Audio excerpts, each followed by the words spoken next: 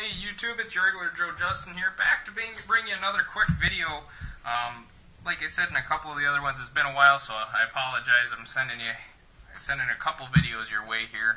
Um, hopefully, to to uh, you know, I guess take up some of your time. You know, give you some information. Like I said uh, in previous uh, other videos, you know, if you got any ideas for other videos and stuff like that, uh, you know, send send the ideas my way, and like I said, I'll try to accommodate them. Today, what I'm going to talk to you about, uh, obviously, you can see if you watch any of my other videos, this was the previous uh, previous handguard that uh, I, I had on the rifle. Both of these are Yankee Hill Machine handguards, and I, I, I love what Yankee Hill Machine does. So, um, but anyways, reason I decided to switch between the two was, for one, I wanted additional length. If you can see here, from the barrel nut on, it gives me another, I think it's two and a half inches, so I can get my, my stuff, my hands, and um, my flashlight and and uh, and iron sights farther out on the rifle. Um, so, I mean, this is more of a review than me talking about why I did it. So, but I, I got out and I shot a couple times with this. Sorry, I didn't get you any uh, any footage. Um, it was one of those quick things, and I was I was still I was trouncing around and in about uh, I don't know almost still two feet of snow, so I couldn't do a whole lot with the cameras yet. So, um, but I, I will get us get us out there and get you some live footage of it. So, um, but anyways, the main reason, it, like I said, this is more of a review than anything.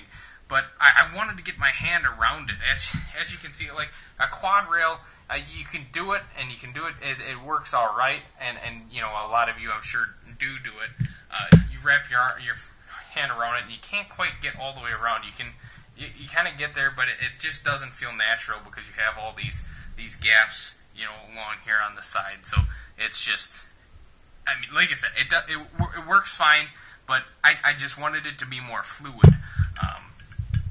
So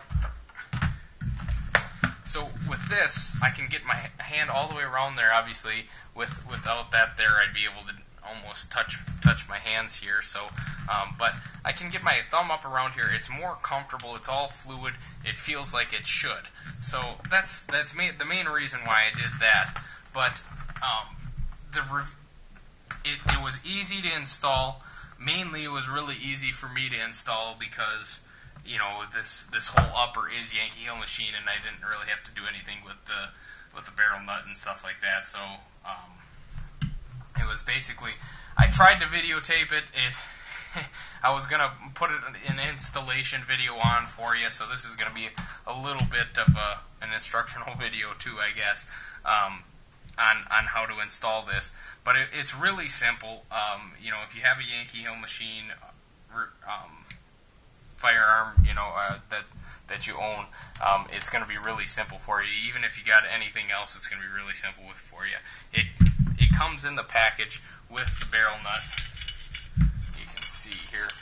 Basically, what ends up happening is you've got this barrel nut on your your upper receiver, and and this this this uh, I guess I guess you could call it a nut too is it screws on there and just tightens it down.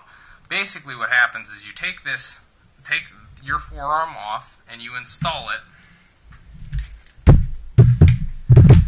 You install this barrel nut on your forearm, and and it, it's going to be, um, you can see the threaded side here. You basically thread it on there, give yourself some room here, back this off, and then what you do is this barrel's threaded uh, underneath here, and and is as an example, you uh, take this, you slide it over your barrel and your gas um, system and everything like that. Slide it over it, and and assuming that this was already installed on the on the firearm, you put this on on there, and you just you, you screw it in. I mean, the firearm would be like this, and you and you screw it on like so. Line it up real nice, and then once it's tight and stuff like that, obviously I, I can't go go any further because uh, the screws are in there. Once it's once it's tight up against there, and you've got everything lined up, you take these these flat, this flathead screw here, right here. You loosen that out, and it's on both sides. And as you can see, it's on this also. Um, you you take those out, and then there's these grooves along the barrel nut, and you line it up in those grooves, and you keep it lined up so that everything's lined up the way it should be. And you screw those in there tight, and that, that keeps it from moving anywhere.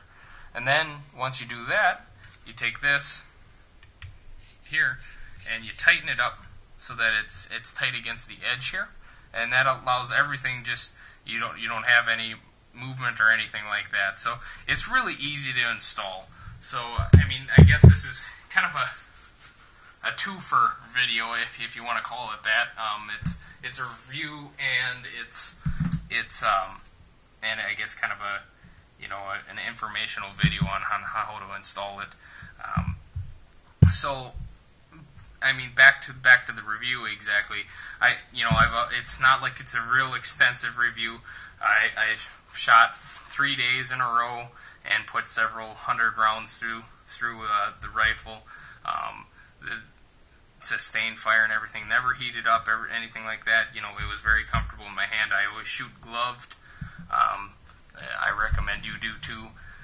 Um, so you know, it was it, it's just great ergonomically. It felt really good in my hands. It it, it allowed me to shoot fairly accurately.